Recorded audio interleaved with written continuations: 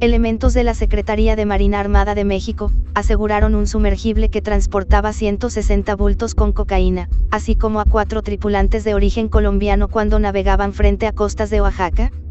De acuerdo con la dependencia, el personal que realiza patrullajes aéreos y marítimos detectaron una embarcación sospechosa tipo sumergible con cuatro motores fuera de borda frente a las bahías de Huatulco en el estado de Oaxaca, por lo que se desplegó un operativo de emergencia para inspeccionar la referida nave,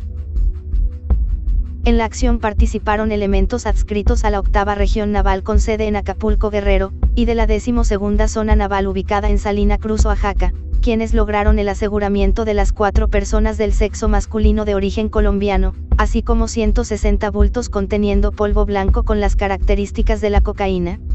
Las cuatro personas aseguradas, así como la embarcación y droga asegurada, fueron puestos a disposición de la Fiscalía General del Estado de Oaxaca y de las autoridades competentes, para determinar el peso ministerial y realizar las pruebas pertinentes, así como integrar la carpeta de investigación correspondiente. Diversos medios señalan que el narcosubmarino era propiedad del cártel de Sinaloa. De acuerdo con el Centro Internacional Marítimo de Análisis contra el Narcotráfico de la Armada de Colombia en su trabajo conjunto con otras armadas del mundo, entre ellas la CEMAR, en la Operación Orión se han detectado siete rutas del narcotráfico desde Sudamérica hacia México. De las siete rutas, dos parten de Buenaventura y Tumaco en Colombia, con arribo en inmediaciones de Costa Rica y El Salvador con un tiempo de 24 a 48 horas de viaje con un reabastecimiento, mientras que la segunda ruta tiene arribo en inmediaciones de El Salvador y Guatemala con un tiempo de 5 a 7 días de viaje, con más de 3 reabastecimientos.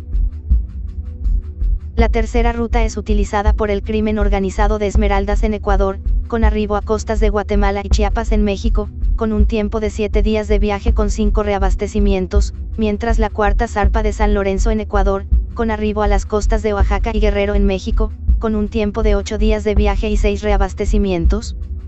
La quinta ruta parte de Puerto Rico y Ecuador, con arribo a las costas de Michoacán y Guerrero en México, con un tiempo de navegación de 9 días con 8 reabastecimientos en distintos puntos estratégicos, la sexta ruta tiene el mismo punto de partida Puerto Rico y Ecuador, con arribo al estado de Jalisco y Sinaloa en México, con un tiempo de 11 días de viaje y más de 8 reabastecimientos.